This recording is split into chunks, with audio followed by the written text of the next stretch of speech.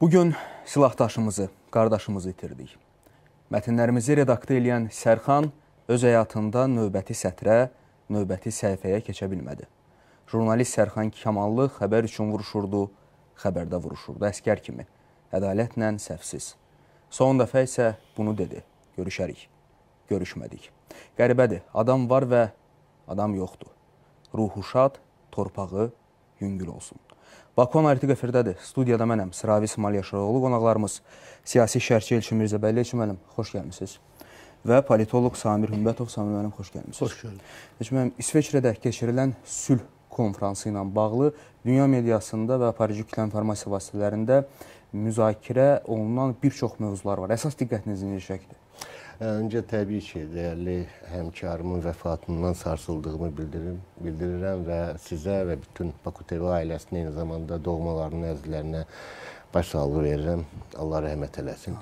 Şübhəsiz ki, e, əslində İsveçrədə keçirilən e, konfransın nəticəyə varmayacağı öncədən bəlli idi. Çünki müharibədə tərəflər olur və bu müharibəyə son qoymaq üçün də tərəflərlə müzakirə aparmaq lazımdır. Yəni bir qütbün, bir tərəfin toplanaraq nəticə etibarilə ə, e, hansısa prinsiplər əsasında ə, e, bu prinsiplərin nə dərəcədə ədalətli olub olmamasından asılı olmayaraq toplantı keçirilməsi və eyni zamanda e, bu kontekstdən öz iddialarını irəli sürməsi nəticə etibarilə sülhə xidmət edən bir addım deyil. Yəni ümumilikdə bunu hansısa konkret bir qütbün sammiti adlandıra bilər? E, şübhəsiz qütbün sammiti zamanda nəzərə almaq lazımdır ki, gözlənilən əvvəla nəticə say etibarilə öz biruzə vermədi. Yəni bəlli olduğu kimi 160 ölkəyə dəvət göndərilmişdi. Onlardan 91-i iştirak etdi və 80 ölkə imzaladı. Daha öncə e, deməli 80 ölkənin imzaladığını bildirirdilər, amma sonra bəlli oldu ki, Yordaniyandan İraq da imtina eləyiblər imzalamaqdan. 78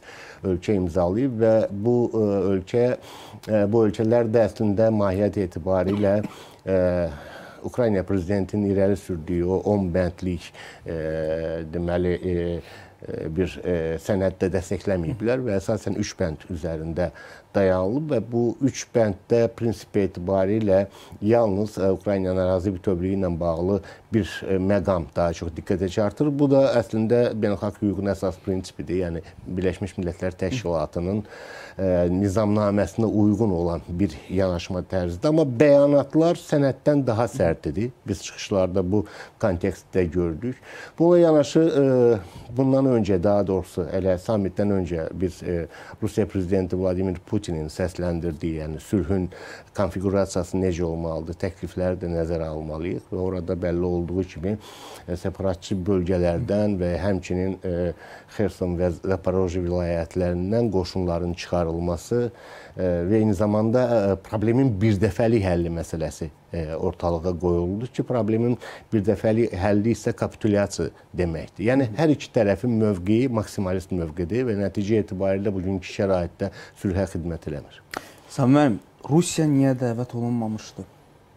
İstəsəydilər əslində Rusiyanı da dəvət eləyə bilərdilər. Niyə istəmədilər? Əlbəttə. Öncə təşəkkür edirəm bəy dəvətiniz üçün həm də Baku TV ailəsinin ağır itkisi ilə bağlı olaraq həm Baku TV-yə, həm də e, jurnalistimizin ailəsinə dərin üzündə başsağlığı verirəm və e, fikirlərimi onunla əsaslandırıram ki, e, Rusiyanın dəvət olunmaması gözlənilən idi. Çünki proseslərin gedişi e, əslində Rusiyanı təzyiq etmək istəyindən qaynaqlanan bir hal kimi dəyərləndirilə bilər. Amma e, Elçin müəllim də qeyd etdiyi kimi bu toplantı, bu sammit fikrimcə o qədər də effektiv nəticələr vermədi. Səbəb də ondan ibarətdir ki, Elçin müəllim də qeyd etdiyi kimi bu tərəflər olmalıdır, münaqişənin tərəfləri. Ümumiyyətlə məqsəd nə idi bu sammitin keçirilməsi? Məqsəd əslində Ukraynaya bax biz də bunu eləyirik mesajını vermək. Çünki Ukraynaya 2022-ci ilin fevral ayının 24-dən başlayaraq bu günə qədər verilən dəstək sadəcə və sadəcə müharibənin uzadılmasına xidmət eləyən dəstəkdir. Bunun arxasında başqa bir anlayışın durduğunu hesab etmirəm. Səbəb də bundan ibarətdir ki, Ukrayna müharibəyə başladığı ilk vaxtlardan ilk 5 e, həftədə artıq Rusiya qeyd etdi ki, Ukraynadakı hərbi obyektləri sıradan çıxardıb 5 həftə ərzində və ondan sonra artıq Ukrayna bir növ e, belə deyək, Qərbin e, silah-sursat asılılığına düşmüşdü. 2022-ci ilin aprelin sonu, mayın əvvəllərindən artıq Amerika tarixdə ikinci dəfə, birincisi e, faşist Almaniyasına qarşı SSR dəstək vermək üçün Lend-Liz qanunu qəbul etmişdi. İkinci dəfə isə Rusiyaya qarşı Ukraynaya ə, tətbiq etdi. Amma o Lend-Liz qanunun mahiyyəti ondan ibarətdir ki, silah sursatdır, hərbi texnikadır, pere, dərman preparatlar, və hər şey. hər şey. Yəni bildiyimiz müharibə və qeyri-müharibə şərait üçün nə lazımdırsa hər biri tərəflər arasında hansı ölkəyə ki tətbiq olunub, ona e, limitsiz və sərhədsiz sayda verilməlidir. Sonra müharibədən sonra bu məsələ müzakirə olunub, yekun nəticə çıxarılmalıdır. Bu gün həqiqətən limitsiz verilir? Təbii ki, xeyr. 3 ayda artıq Amerika Konqresində Ukraynaya 60 milyarddan yuxarı e, dəyəri olan bir yardımın ayrılmasına bağlı müzakirə gedir. Respublikaçılarla e, demokratlar arasında gedən bu qarşı durmanın əsas səbəbi odur ki, respublikadakı verməyək. Amma bəlli olduğu kimi Lent-Lizdə hər hansı bir qərar qəbul olunmur. Bəli, yəni, yəni birbaşa olmalı, yəni dövlət yardım və hətta prezident ayırmalıdır Prezidentin məsələn. belə bir müstəsna hüququ var. Əslində Bəli. bu müzakirələrə yol açmaya da bilərdi. Amma təsdiq olsun ki, bu müzakirələr, yəni Ukrayna ilə bağlı məsələ həm də Amerikada keçiriləcək seçkilərin tərkib hissəsidir. Yəni bəli, bəli. məhz yəni, bu aspektdən respublikaçıları ittiham etmək üçün ki, gələcəkdə onlar Ukraynaya məhz imkan vermədilər yardım göstərməyə. Bəli, bəli yəni əslində Biden administrasiyası və demokratlar seçki qabağı Ukrayna məsələsinin həm də özlərinin gələcək, yəni növbəti seçkilər üçün bir siyasi manipulyasiya vasitəsi kimi istifadə etməyə çalışır. Yəni gedişat bunu göstərir. Dividend qazanmağa çalışırlar. Bəli, əlbəttə ki, yəni ə, e, ən son vəziyyətdə ə, e, yəni deyəcək ki, respublikaçılar imkan vermədi. Rusiya tərəfdən baxaq məsələyə. Rusiya tərəfdən baxdıqda isə Rusiya təbii ki, e, Amerikanın bu yardımı ayırmamasını və yaxud da ki, gecikdirməsi Rusiyanı məmnun edən haldır. Rusiya prezidentinin də bayaqlarım Elçin müəllim toxunduğu kimi o bəzi çıxışları ki var, orada qeyd olundu ki, bu ərazidən çıxmalıdır və s. Əlbəttə ki, Ukrayna buna getməyəcək. Əslində e, hər iki tərəfin bir-birinə qoyduğu şərtlər müharibənin bundan sonra da hələ uzun müddət davam etməsi ehtimalını ortaya qoyur. Və bir məsələ də burada önəmlidir yəni müharibənin davam etməsi üçün yəni burada nə imkan var, hamısından istifadə edirlər. Burada müharibənin bitməsinə xidmət edən bir amil yoxdur. Biz sülh sammitinin təfərrüatlarından danışacağıq. Bir məqama istəyirəm aydınlıq gətirək. Evet. Ermənistanın nə işi var idi orada və Ermənistan niyə imza atmadı? Ümumiyyətlə sülh müqaviləsini imzalamayan bir ölkənin və sülhdən söhbət gedən bir sammitdə iştirakı nə qədər normal və ya bir-birini bir tamamlayır? Ə, əslində çox maraqlı sualdır, amma ondan öncə mən bu ə, Rusiya hətta çağırılsaydı belə İsveçrəyə getməyəcəkdi məsələsinə biraz aydınlıq gətirim. Çünki İsveçrə Roma statutunu tanıyan və beynəlxalq cinayət məhkəməsinin hökmünü tanıyan bir ölkədir. Bu aspektdən də ə, bunun üçün o dəvət olunar təqdirdə ə, deməli beynəlxalq cinayət məhkəməsindən icazə alınmalı idi rəsmi şəkildə.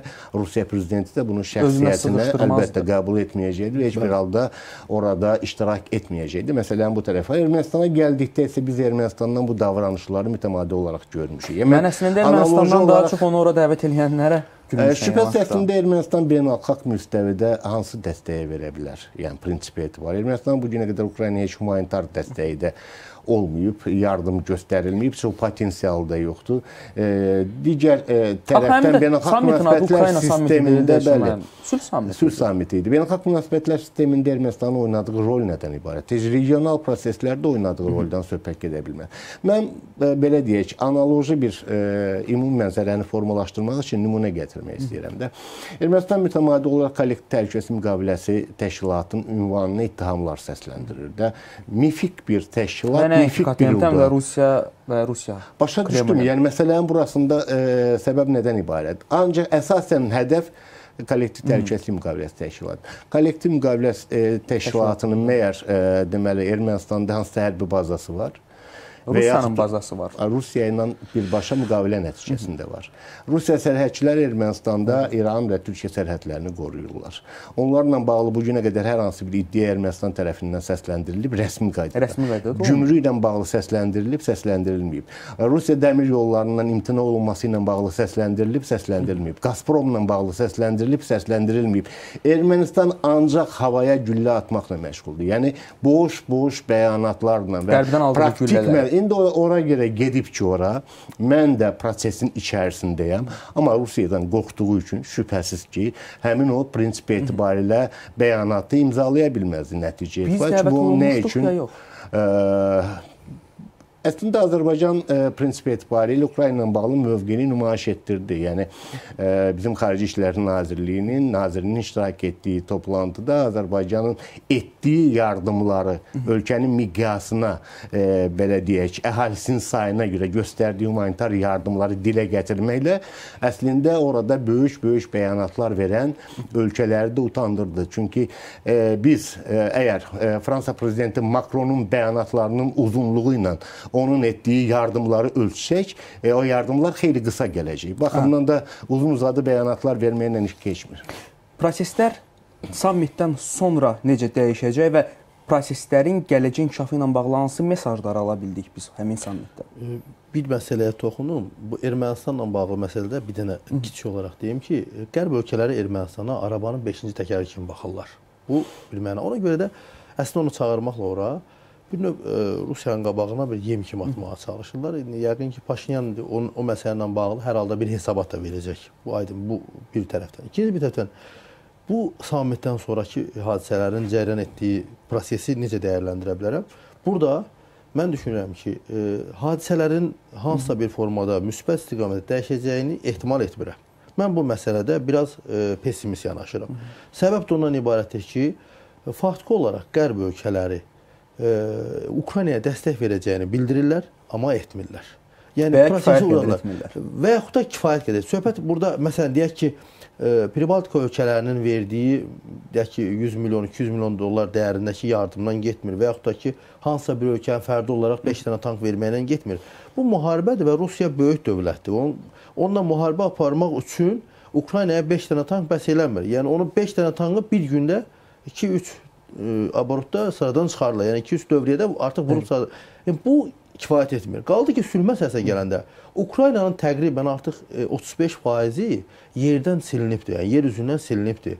Bunun da indiki bərpası üçün, yenidən qurulması üçün hələ Ukrayna prezidenti açıqladığı rəqəm 700 milyard dolların üzərindədir. Bunu da hansısa dövlətin Ukraynaya verəcəyi inandırıcı görsənmir. Hə, məsələ nə ola bilər? Ukrayna nə qədər müharibəni aparacaqsa, bir o qədər Qərb ölkələrinin faydasınadır. Niyə görə faydasınadır?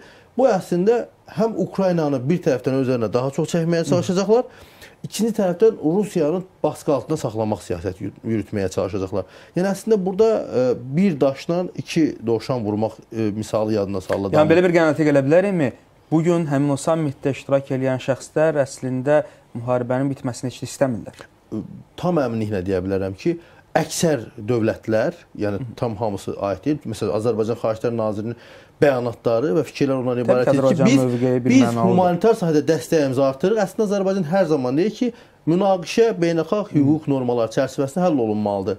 Amma bu fikri Mən hegemon dövlətləri nəzərdə tuturdum məsələn. Aydın məsələdir. Hegemon dövlətlərə gəldi desə, baxın, Amerika Birləşmiş Ştatları üçün birinci ümdə məsələ burada müharibənin nə qədər mümkün variantı varsa uzadılmasıdır. Çünki burada artıq birbaşa e, Ukrayna iqtisadiyyatının tam olaraq e, e, qərb ölkələrinin əlinə keçməsidir. Yəni iqtisadiyyatda nə qalıbsa bu bir. Çünki artıq Ukraynadan təqribən 12 milyon Ukraynalı artıq ölkəni tərk edibdir. Bu və ya digər vəziyyətlə əlaqədar olaraq. Ukrayna hökuməti fərqindədirmi?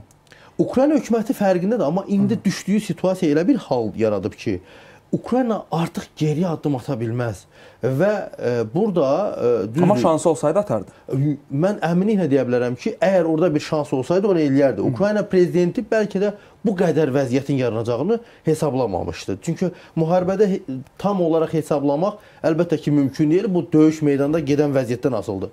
Və təbii ki, əgər qərb ölkələri bundan sonrakı mərhələdə Ukraynaya intensiv şəkildə silah-sursat və hərbi texnika verəcəklərsə, proses dəyişə bilər. İndi düzdür, Rusiyanın dondurmuş aktivlərinin faizlərini götürüb Ukraynaya kredit formasına verməklə müharibəni davam etdirmək, bu ə, e, mən düşünmürəm ki, hansısa bir ciddi effekt verə bilər və heç ə, e, bu proses ə, e, mən hesab edirəm ki, əgər qərb ölkələri bunu bu cür aparsalar, əslində bir növ ə, özlərinin beynəlxalq hüquqla təsbit olunmuş ə, belə deyək, legitimliyini itirmiş olurlar. Çünki özləri demokratiyadan danışırlar, özləri insan haqlarından danışırlar və dövlətlərin bərabərliyindən danışırlar. O zaman dondurulmuş pullar, Rusiyanın dondurmuş pulunu Ukraynaya vermək başqa məsələdir. Yəni burada bu beynəlxalq hüquqda təsdiq olunmuyor bax belə Ya, maddə. bu yalnız məhkəmə yolu ilə, yəni ə, onun da elə predmeti bəlli olmalıdır, hansı formada. Təbii, yəni onun bir formaları olmalı, elə o da aydın deyil, yəni. mən ikinci deyil. sammit noyabr ayında keçiriləcək. İkinci sammitə Rusiyanın dəvət olunma ehtimalı nə qədərdir və mən istərdim e, mövzunu müzakirə eləyərkən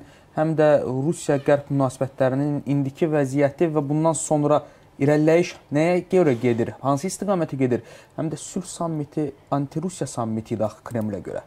Hə, Prinsip etibarilə Rusiya tərəfindən verilən bəyanatlarda da bu müəyyən qədər nəzərə çarpır. Baxmayaraq ki, orada Rusiya ilə normal münasibətdə olan ölkələr də həmin o bəyanatı imzalamışlar, amma biz bir paradoksal bir vəziyyətdir. Məsələn, e, Türkiyə, Serbiya, Macarıstanla bağlı Rusiya fərqli bir mövqe nümayiş etdirdi. Digərlərinin isə ümumiyyətlə adını çəkmək istəmədi və Türkiyə mövzusuna toxunacağıq. öz Türkiyənin müharibədəki rolu. mövqeyimizi ifa, öz mövqeyimizi deməli ə, təkrarlamaqdan yorulmayacağıq və biz münasibətləri davam elətdirmək ə, əzmindəyik. Əslində burada situasiyanın mahiyyəti ondan ibarətdir ki, Rusiya prezidenti ə, təkcə ə, sammitdən öncə ə, şərtlərini irəli sürməmişdi. Eyni zamanda ə, Avrasiyanın yeni təhlükəsizlik konfiqurasiyası ilə bağlı baxış bucağını sərgiləmişdi. Bundan öncə də Çinlə aparılan müzakirələrdə də qlobal təhlükəsizlik mexanizmləri ilə ə, bağlı Rusiya ilə ortaq mövqedən çıxış etdiklərini bildirmişdilər. Yəni indiki şəraitdə fərq bundan ibarətdir. Rusiya ə, ümumiyyətlə Avrasiya qit- qitəsində ə, Amerikanın hərbi bazalarını görmək istəmir. Hətta NATO-nun özü mövcud olacaqsa da belə bir alyans ə, şəklində onun bel, onunla belə ə, Amerikadan kənar bir əməkdaşlığın formalaşmasını istəyir ki, indiki şəraitdə bu ə, iki qütbün arasında münasibətlərin tənzimlənməsinə və normallaşmasına xidmət edən bir faktor deyil. Yəni baxımdan fundamental baxış fərqləri var. Avrasiyanın gələcəyinə, dünyanın gələcəyinə və mübarizə əslində bu kontekstdə gedir. Ukrayna sadəcə bu proseslərin bir tərkib hissəsi və təəssüf ki, ə, deməli qurban verilmiş bir ölkədir. Ecməm, hələ də sonda kimin qalib gələcəyi bəy- müəyyən deyil, Mahiyyət yoxsa etibarilə bu müharibənin qalibi yoxdur. Yəni prinsipal olmayacaq. olaraq deyil, olmayacaq. Və ə, Bəs necə yekunlaşa yaxın, bilər? Yaxın mərhələdə, yəni ə, ə, əgər biz ə, müəyyən ə, gedişləri nəzərə alsaq, yaxın ə, mərhələ üçün qərb istəklərinə çatıb. Yəni Ukrayna xalqı ilə Rusiya xalqını, iki qardaş xalqı düşmən eləyib bir-birinə və prinsip etibarilə bufer zonasının müəyyən qədər olsa formalaşmasına nail olub və bundan sonra Ukrayna-Rusiya münasibətlərinin hansısa müstəvidə normal formada inkişaf edəcəyinə ə, inanmaq mümkün deyil. Yəni bu əslində paradoksal olardı, amma nəticə etibarilə proses ə, ona gedəcək ki, ə, istər-istəməz tərəflər öz ara- aralarında müəyyən razılığa gəlməli olacaqlar. Rusiya bunun ə, deməli razılığa gələn tərəf hansı olacaq? Önəmli olan məncə görə. Ukrayna olacaq. Yəni e, hal-hazırda mən xüsusilə Amerika Birləşmiş Ştatlarında keçirilən seçkilərdən sonra eyni zamanda artıq Avropa parlamentində keçirilən seçkilər nəticəsində Avropa siyasətində burnumuza gələn qoxuya görə proseslərin tamamilə fərqli istiqamətdə olduğunu görürük. Sağçılar Rusiya ilə savaş istəmirlər. E, son olaraq deməli e, 20 ölkədə keçirilən Avropa İttifaqının e, demək sorğunun nəticələri də sübuta yetirir ki, Avropalılar üçün birinci yerdə təqaüd islahatları, iqtisadi amillər, iş yerlərinin açılması və s. dayanır. Yəni, Ümumiyyətlə Ukraynadan. Ukraynadan söhbət getmir və bu proses indiki şəraitdə əslində Avropa parlamentində keçirilən seçkilərdə də özünü biruzə verdi. Ritorika dəyişəcək və mən e, düşünürəm ki, müəyyən bir mərhələdə Ukraynanı barışlığa məcbur edəcəklər və daha ağır şərtlər altında. E, İstərdim sizin də müharibənin və münasibətlərin son nəticəsi ilə bağlı proqnozlarınızı eşidək. Bilirsiniz, Rusiyanın öz şərtləri, Ukraynanın öz şərtləri var. Kim kimin şərtlərini qəbul etmək məcburiyyətində olacaq? Baxın, e, proses Avropadan pozuldu. 97-ci il anlaşmasını pozdular. Və Qərb ölkələri, e, Pribaltika ölkələrini və digər ölkələri 2004-cü ildə NATO-ya almaqla bu prosesi pozdular. Və Rusiyada e, mən hesab edirəm ki, artıq e, geostrateji mövqelərini qorumaq üçün bu prosesi davam etdirir və Rusiyanın prezident seçkilərindən sonrakı kabinetdəki dəyişikliklərə baxanda və Müdafiə Nazirliyinin başına iqtisadiyyat yönümlü şəxsin gətirilməsi də onu göstərir ki, Deməli, Rusiya uzunmüddətli müharibəyə hesablanmış strategiya qurur və buna hazırdır. Və buna hazırdır. Artıq bu prosesi də ona doğru aparır. Yəni bu o deməkdir ki, Rusiya qarşı tərəfə mesaj verir ki, həm Ukraynaya, həm də Qərbə ki, baxın, mən müharibə deyirsinizsə bunu aparacağam. Bir neçə gedir. Yəni hadisələrin gedişi bunu göstərir. Və e, Elçin müəllim də qeyd etdiyi kimi burada Amerikada seçkilər gəlir qarşıdan. Və bu seçkilərin nəticəsi də təbii ki, bu prosesə təsir edən amillərdir.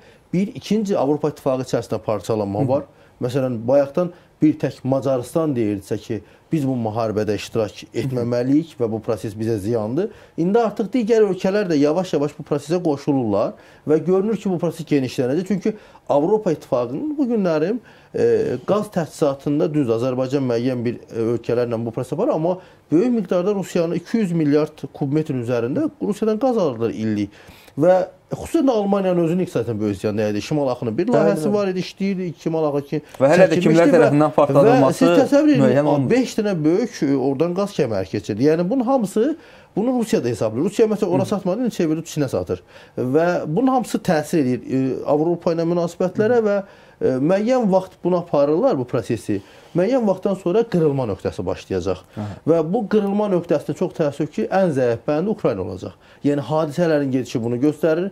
Boş-boşuna 12-13 milyon Ukraynalı artıq Avropanın çöllərinə düşdü. Vəziyyət bunu göstərir. Ukraynanın 4 dənə əyaləti artıq Rusiya tərəfindən işğal və ilhaqa məruz qalıb, yəni birləşdirilib artıq Rusiya və e, mən hesab edirəm ki, e, qarşıdakı dövrdə Ukrayna bu ərazilərdə yenidən ələ keçirməsi, onu əldə saxlaması biraz çətin məsələdir. Çünki modern ordusu yoxdur. insan kapitalı aşağı düşür getdikcə. Bax bu məsələlər çox önəmlidir. Rusiya isə üçün fərqi yoxdur. Yəni orada 600 min ə, əskər qırılmasın. 1 milyon 600 min qırılsın, yenə də müharibəni davam etdirir. Yəni 145 milyon deyir olmasın 5 milyonu, yenə gedəcək prosesi.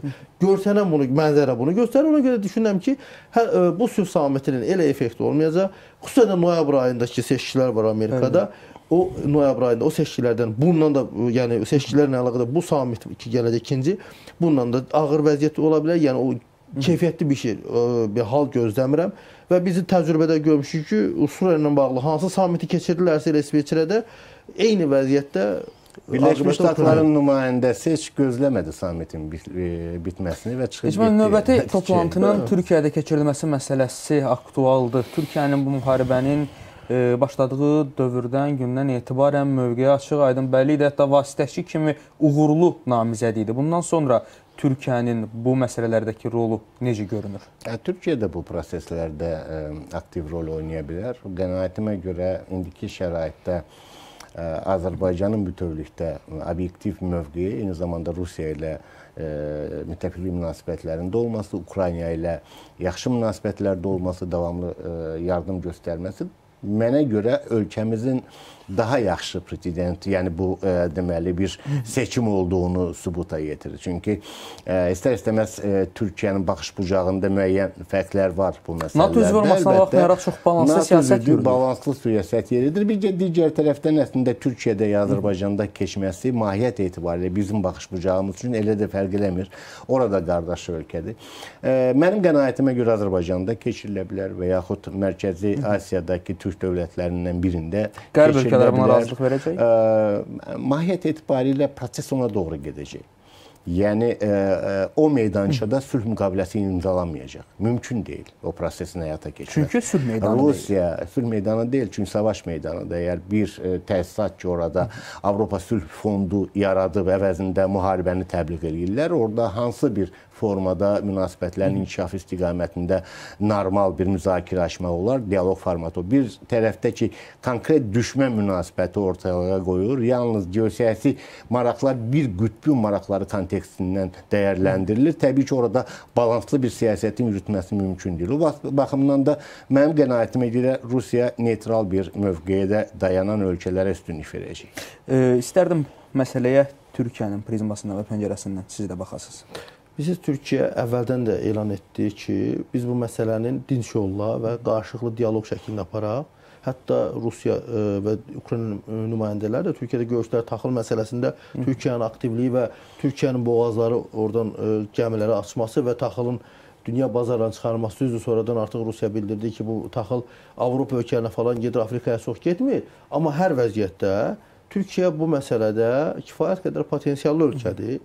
Amma Elçin müəllim də qeyd etdiyi kimi Azərbaycan da kifayət qədər həm Ukrayna həm də Rusiya ilə münasibətləri e, yüksək səviyyədə olan ölkədir və e, həm də liderlərə bir etimad məsələsi var. Bizim prezidentimiz cənab İlham Əliyevə də böyük etimad var. Həm Putin tərəfindən, həm də Zelenski tərəfindən. Həm də beynəlxalq yəni, tədbirlərin də, təşkili məsələsində bə, yəni bu məsələdə böyük mən hesab edirəm ki, tam sülh müqaviləsi imzalanmasa da tərəflər arasında, amma bir atəşkəsin əldə edilməsi və bundan sonrakı proseslərin danışıq yolu ilə həll edilməsi məsələsi mümkündür. Düzdür, Normandiya formatında apardılar əvvəl, nəticə vermədi. Niyə nəticə vermədi? Çünki orada Ukraynanı bir mənalı şəkildə bu məsələyə təhrik etdilər. Rusiya da hazırlaşırdı və nəticə nə oldu? Müharibə oldu. Yəni proses pozuldu. Ona görə də mən düşünürəm ki, bu məsələ qərbdə həll olunması məsələ deyil. Bu məsələ ya Türkiyədə, ya da Azərbaycana daha effektiv nəticə verə bilər. Çində də bu nəticə verə bilməz. Çünki Çin də müəyyən məndə deyəcəklər ki, Rusiya ilə tərəfdaşdır. Təxmini bir vaxt proqnozunuz var bu məsələnin uzanması ilə bağlı? Hadisələrin gedişi onu göstərir ki, hələ uzun müddətli gedəcək. Bunu tam olaraq bir neçə il. Bəlkə də bir neçə il davam edə bilər. Çünki bu hadisələrin gedişi nədən asılıdır? Burada bayaq qeyd etdiyim Ukraynanın geri dönüş məsələsi biraz çətindir. O Ukraynaya indi verilən silah-sursat və hərbi texnika sən müharibəni bundan sonra davam etdir. Hı -hı məqsədi ilə verilir. Məsələn, Ukraynaya bunu versələr ki, sən al döyüş bundan, hə, o zaman bəlkə də proseslərdə hansısa müəyyən bir dəyişiklik ola bilər, amma e, bu bugünkü vəziyyət onu göstərir. Yəni o Lend-Liz qanunu Amerika tərəfindən qəbul edilsə də, o tətbiq edilmir. Bu bir mənalıdır, çünki görsənmir bu. Və düşünürəm ki, proseslərin gedişi e, hansı Avropanın bir neçə kiçik dövlətinin yardımı ilə mümkün deyil. Burada kompleks yanaşma olmalıdır və bir yol xəritəsi hazırlanmalıdır və dəstək olunmalıdır. Bu da hələ görsənmir. Və qarşıda da təbii ki, Avroparlament e, seçkiləri, üstəlik də Amerikada seçkilər və həm də Avropada, Qərbdə e, sağçılığın, millətçiliyin daha da artması məsələsi də daha çox gündəmə çıxır ki, qabarıq hiss olunur Bəli. və ölkələrin bəzilərində artıq bu məsələ ilə bağlı fikir ayrılıqları formalaşıb hökumət daxilində. Bunlar hamısı təsir edir proseslərə və arada gedən Ukrayna olur.